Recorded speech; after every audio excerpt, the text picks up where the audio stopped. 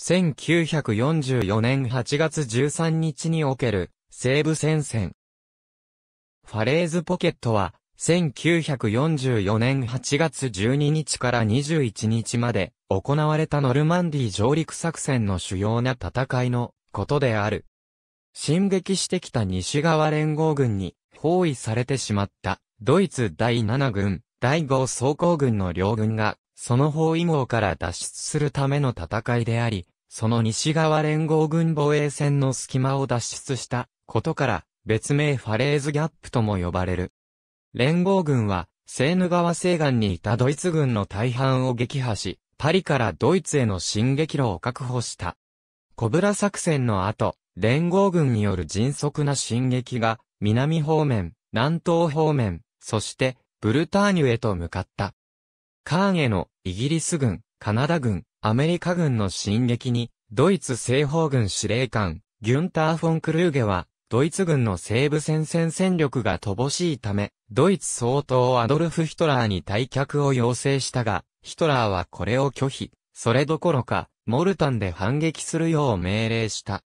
しかしクルーゲが投入できる、全兵力である4個装甲師団の残存兵力では、イギリスとアメリカ、カナダの第一軍に対抗するには、不十分で、発動したリュティヒ作戦は、かえって深刻な状況を作り出しただけであった。8月8日、ドイツ軍を包囲する機会をつかんだ、連合軍のバーナード・モントゴメリーは軍を、ファレーズ、シャンボアへ集結させ、イギリス第一軍が中央、南側にはアメリカ第一軍、北側にカナダ第一軍という配置で、ドイツ軍への攻撃を開始した。ドイツ軍は撤退路確保のために激しい反撃を加えたが、撤退は8月17日まで行われなかった。8月19日、連合軍はシャンボアでドイツ軍の退却路の蓋を塞いだが、完全に塞ぐには十分な戦力が展開していなかった。狭い脱出路を通るために、ドイツ軍は必死の攻撃を見せたが、包囲網の口となるべき重要で激戦が予想される地点を防衛するのはポーランド第一機構師団であった。8月21日の夕方までには、ドイツ軍将兵約5万が完全に包囲された。そのうち、かなりの将兵が脱出できたと考えられているが、ドイツ軍の兵力等、軍事的損失は膨大であり、連合軍は決定的な勝利を挙げた。4日後、パリは解放され、8月30日までに、セーヌ川西岸に、ドイツ軍は存在しなくなり、連合軍によるオーバーロード作戦は終了した。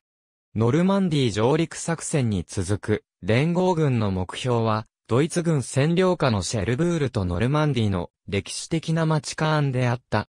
しかし、連合軍の進撃は、ドイツ軍の抵抗により進まず、なおかつ、イギリス海峡の悪天候は、軍事物資、将兵の輸送に大きな支障を与えていた。そのため、両方の地区は早急な占領が必要であったが、シェルブールはアメリカ第セブン軍団が進撃する6月27日まで占領できなかった。一方、カーンでは7月20日までドイツ軍が抵抗を続けていたが、グッドウッド作戦とアトランティック作戦によるイギリス、カナダ両軍の攻撃で占領された。連合軍のバーナード・モントゴメリーは、ドイツ軍をアメリカ軍全面からイギリス、カナダ両軍の全面までで引き伸ばす作戦を提案。この作戦のおかげでアメリカ軍の進撃路が解放された。7月25日、ドイツ軍の警戒がカーンに向いている間に、アメリカ軍司令官オマール・ブラッドリーは、コブラ作戦を発動した。アメリカ第一軍は、ブルターニュのドイツ防衛線を突破、3日目までには24キロ南方へ進撃し、7月30日には、コタンタン半島の付け根、アバランシュを占領した。そのため、ドイツ軍防衛線南側の戦力が薄くなり、24時間で、第3軍倍下の大 V3 軍団がブルターニュへ進撃、そのまま、ドイツ軍の抵抗なしに、南方、西方へと進撃した。アメリカ軍の進撃はあまりにも早く、8月8日までにはルマンを占領した。コブラ作戦とイギリス、カナダ両軍の攻撃の影響で、ノルマンディーのドイツ軍は、歴史家、マックス・ヘイスティングスの言うところの、ほんの一握りの武装 SS だけが勝利への望みを抱いていた。というひどいありさまになった。東部戦線では、ソビエト赤軍がバグラチオン作戦を発動、ドイツ中央軍集団が大きく押されており、ドイツ軍には西部戦線へ送る戦力が存在しなかった。B 軍集団司令官クルーゲは、セーヌ川まで撤退するようヒトラーに要請したが、ヒトラーは撤退どころか、モルタン・アバランシュ間で、クルーゲ配下の9個装甲師団のうち、8個師団を用いて、即時、反撃を行い敵を撃滅し、コタンタン半島西岸まで進出することを命令した。そこで、クルーゲは、4個装甲師団を防御任務から引き抜き、反撃の準備をさせた。師団長は、そのような作戦に対応するには、戦力が足りないと主張したが、これは無視された。そして反撃作戦である、リュティヒ作戦が、モルタンで8月7日に始まった。第 1SS 装甲師団、ライプシュタンダーテ SS アドルフ・ヒトラーと、第 2SS 装甲師団、ダスライヒが最初に攻撃を開始することになっており、それらには75両の砲合戦車、70両のパンター、32両の突撃砲が所属していた。しかし、ドイツ軍が誇る暗号機エニグマを使用した暗号通信は、イギリス暗号解読グループ、ウルトラによって全て破られていた。そのため、ドイツ軍の構成をすでに察知していた連合軍は対応をすでに完了していた。結局、戦いは8月13日まで続いたが、作戦は初日には失敗したも同然であった。この結果ドイツ軍の状況はさらに深刻となった。クルーゲ配下の最強部隊はアメリカ第一軍によって撃破され、ノルマンディーにおける戦線はすでに崩壊寸前であった。ブラッドリーは、これは指揮官にとって一世紀に一度しかない機会だ。我々は、ドイツ軍を撃破して、ここからドイツへと向かうと語った。イギリス軍アメリカ軍を攻撃して西へ向かおうとする、ドイツ軍の崩壊を早めるとともに、その脱出路を塞ぐために、ファレーズの町の北にある高地が、カナダ第一軍の攻略目標となった。新設された、カナダ第一軍、カナダ第二軍団らカナダ軍で、トータライズ作戦を決行することとなった。この作戦はまず、イギリス空軍重爆撃機による爆撃を行い、その後に、カンガルー装甲兵に輸送車を使用した野襲を行うことになっていた。8月7日夜、イギリス空軍による激しい爆撃の後に作戦は発動し、76両のカンガルー、装甲兵に輸送車に登場した先見の不評連隊が先へ進んだ。14キロ先には第 101SS 重戦車大隊と第89不評師団の残存兵に支援された第 12SS 装甲師団ヒトラーユーゲントが防衛線を張っていたため8月9日には、連合軍の攻撃は鈍っていた。そのため、ドイツ軍の激しい抵抗の前に、攻撃力が弱く、また、経験不足の第4カナダ師団とポーランド第1機構師団は、多大な犠牲を払うこととなった。8月10日、結局、ファレーズの北の丘まで進撃はできたが、街を占領することはできなかった。翌日、交代の不評部隊が到着、満身創痍の師団は後方へ下がり、作戦は終了した。ファレーズへ向かうアメリカ軍ドイツ軍が部隊を撤退させることを予想していたモントゴメリーは、この包囲を継続することを計画していた。それによれば、アメリカ第三軍が、セーヌ川ロワール川の間の脱出路を封鎖している間に、イギリス、カナダ両軍がファレーズからセーヌ川へ転進することにより、フランス西部に残存するドイツ軍を大きく包囲することになるというものだった。しかし、8月8日、モントゴメリーと電話で協議した連合軍最高司令官ドワイト・ディ・アイゼンハワーは、アメリカとしては、アルジャンタンに兵力を集中させる小さな包囲を行う計画にしたいと提案した。モントゴメリーは提案を認めたが、モントゴメリーとパットンの間には確執が存在しており、パットンよりも自分が先行したいと考えていた。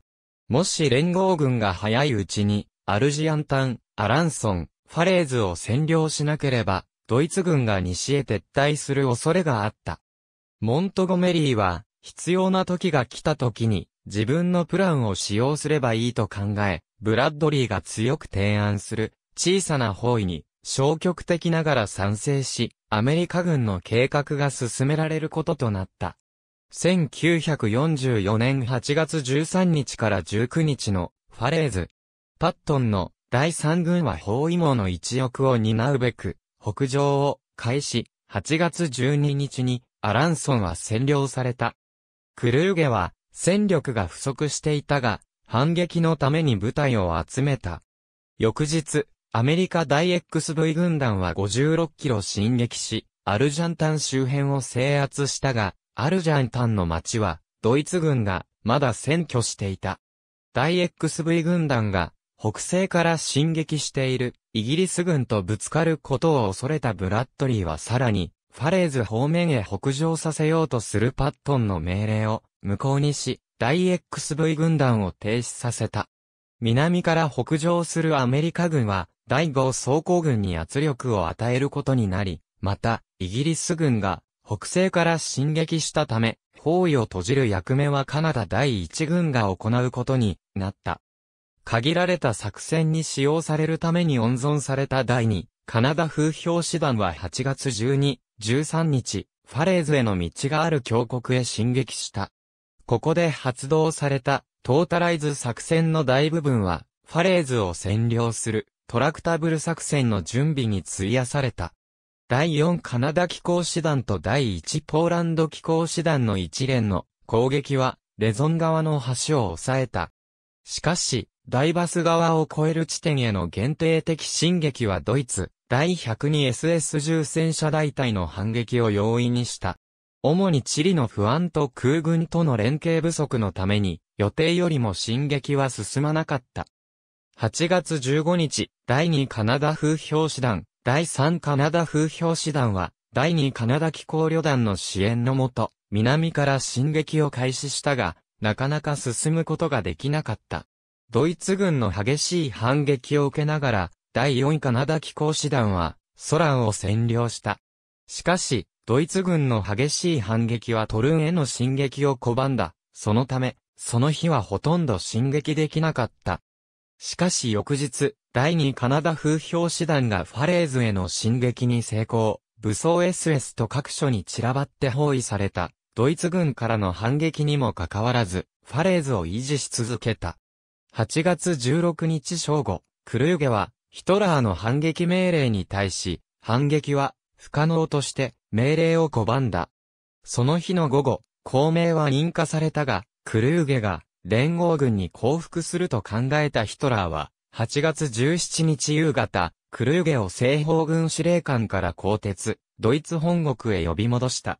クルーゲは帰国途中に自決した。クルーゲの後任となったバルター・モーデルは赴任早々、第 2SS 装甲軍団をイギリス、カナダ両軍に、第ズルビ装甲軍団を南のアメリカ軍に対してそれぞれ反撃させて、退却路を確保。その上での第7軍と第5装甲軍の即時退却を命令することとなった。ドイツ軍の脱出を防ぐことは、連合軍にとって重要な問題であった。しかし、8月17日の時点で、アメリカ軍は、アルジャンタンを包囲しているに過ぎず、また、カナダ軍はゆっくりとトルンへ進撃している途中で、包囲は、まだ不完全であった。カナダ第1軍配下のポーランド第1機構師団は4つの戦闘グループに分割されて、南東へ向かい、シャンボアで、アメリカ軍に合流するよう命令された。8月14日、トルンは、カナダ第4機構師団に確保された。ポーランドの4個戦闘グループは、シャンボアを占領し、8月19日、シャンボアに集合した。そして補強を受けて、夕方まで、シャンボアを守備し、アメリカ第90師団、自由フランス第2機構師団と接触した。しかし、包囲は完成していたが、ドイツ第7軍の脱出路を完全に抑えておらず、ドイツ軍は必死の反撃を見せた。日中、第2戦車師団の装甲部隊は、サンランベールで、カナダ軍を突破し、その突破口は夕方に再び閉じられるまで、約6時間、開いていた。ドイツ将兵の多くが、この脱出路を使用し、その他の少数の将兵が、夜間にダイバスを通って脱出した。シャンボアを保持していた4個ポーランド戦闘グループの2個グループは、北東へ向かい、262高地へ、進撃、8月19日夜間、丘へ通じる残壕を掘った。翌日、モーデルは、包囲をこじ開けるために262高地を保持する、ポーランド部隊へ包囲網の外側から攻撃するよう、第 2SS 装甲師団、第 9SS 装甲師団に命令した。正午頃、第 9SS 装甲師団が、カナダ軍の攻撃を防いでいる間に、第 10SS 装甲師団、第 12SS 装甲師団、第116装甲師団の一部部隊が、ポーランド部隊防衛線の弱い地点を突破。午後半ばには、ドイツ軍将兵約1万が脱出に成功した。ドイツ軍の強力な攻撃の前に、ポーランド部隊は孤立したが、それでも262高地を保持し、それらは、ザメースと呼ばれた。ポーランド部隊には、脱出を防ぐだけの戦力がなかったが、退却するドイツ軍を見渡すことができ、それは砲撃の目標を確認するのに大いに有効であった。そのため、連合軍からの砲撃で、ドイツ軍は多大な犠牲を払わなければならなかった。それを重く見た、モーデルは、第7軍に、ポーランド部隊を排除するよう命令した。ドイツ軍の第 2SS 装甲師団の残存戦力と、第352不評師団による攻撃はポーランド、第1機構師団の第8、第9大隊に多大な損害を与えたが、撃退された。ドイツ軍にはもはや投入する戦力が存在せず、大ズルビ装甲軍団の残存部隊が包囲から脱出するのを見届けるしかできなかった。夕暮れには、両軍の間での激しい戦闘が収まった。ポーランド部隊は、夜間もドイツ軍の脱出を防ぐべく、砲撃支援のために、ドイツ軍の動きを監視し続けたが、戦闘は散発的に行われただけであった。ポーランド軍に破壊されたドイツ軍車両。ファレーズへ侵入するカナダ軍翌朝。昨日ほどは統制は取れてはいなかったが、ドイツ軍による攻撃は再開された。ポーランド部隊は、ドイツ軍を撃退するために、戦車の砲弾を使い果たすことを強いられた。正午頃、第9大隊へ武装 SS による最終攻撃が開始され、第9大隊は撃破された。それからしばらくして、カナダコノエ敵団兵連隊が226高地へ到着、夕方前には、ドイツ軍、第 2SS 装甲師団と第 9SS 装甲師団の残存部隊は、セヌ川へ退却を始めた。3日間の間、226高地防衛のために常に戦い続けたポーランド第一機構師団は戦死者325名、負傷者1002名、行方不明者114名で戦力の20%を損失していた。8月21日の夕方までにカナダ第3、第4不評師団がサンランベールとシャンボアから北へ抜ける道路を確保。カナダ第4機構師団の戦車が、ポーランド部隊と接触した。ファレーズポケットはここに完成した。サンランベールで降伏するドイツ軍8月22日までに、連合軍の進出線より西側にいたドイツ将兵は、戦死するか捕虜になるしかなかった。包囲内で、ドイツ軍が被った損害は、歴史家ごとに異論が存在しており、8万から10万の将兵が閉じ込められ、そのうち1万から1万5千が戦死、4万5千から5万が捕虜となり、約2万が脱出に成功したと言われる。具体的損害として、北側の地区では344両の戦車、突撃砲、2477台の軽装甲、車両及び、非装甲車両、そして252門の砲が、息、もしく破壊された。262高地における戦闘でのドイツ軍の損害は戦車55両、砲44門、各種装甲車両152台、そして戦車2000名と捕虜5000名であった。かつて盛況を誇った第 12SS 装甲師団は、装甲車両の94%、ほぼすべての方、車両の70%を失い、ノルマンディの戦い前は、約2万の将兵と、約150両の戦車を保有していたが、ファレーズポケット後はそれはたった300人と10両になってしまっていた。このように、東への脱出に成功したドイツ軍部隊のほとんどが、その装備を失っていた。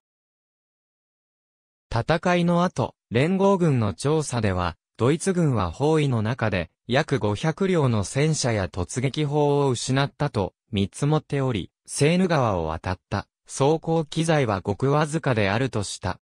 しかし、ドイツ第7軍の大部分が、包囲網から漏れたことは、アメリカ軍の上層部は、モントゴメリーの動きが鈍かったせいであると批判的で、あった。一部の意見では、包囲網は、もっと早く完成できたとされ、ウィルモットによれば、イギリス軍は、予備戦力がありながら、モントゴメリーが、カナダ第二軍団への援軍を強化しなかったことを、言及している。そしてトルンとシャンボアで要求されたことは、行動的、なおかつ冒険的なものであったが、カナダ軍の行動はそれに見合ったものではなかった。また、ヘイスティングは、トータライズ作戦で爪が甘く、経験不足のカナダ軍を補助するために、モントゴメリーが命令を下して、経験豊富なイギリス軍がリードするようにするべきであったとしている。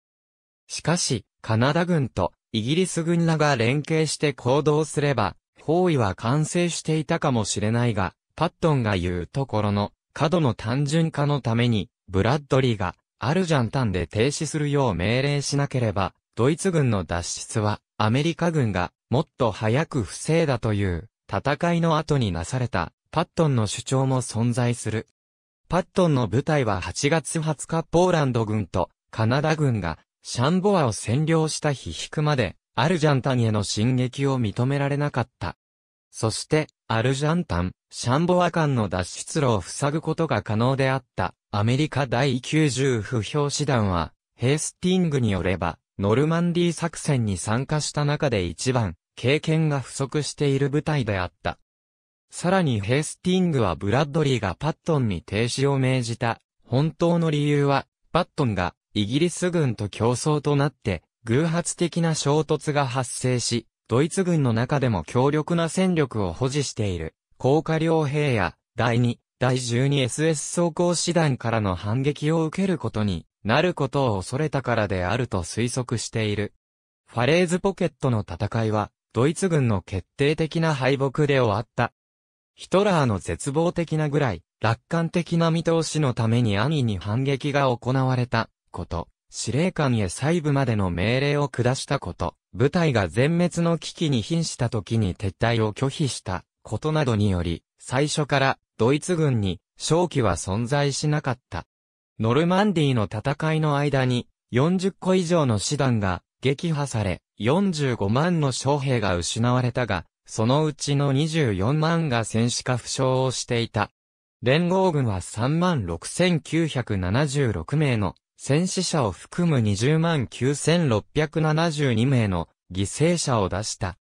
8月25日、オーバーロード作戦の最終目的であるパリ解放がなされ、8月30日までにセーヌ川全域でドイツ軍の退却が終了し、絶大な成果をもって終了した。英語版で使用されたものを引用する。ありがとうございます。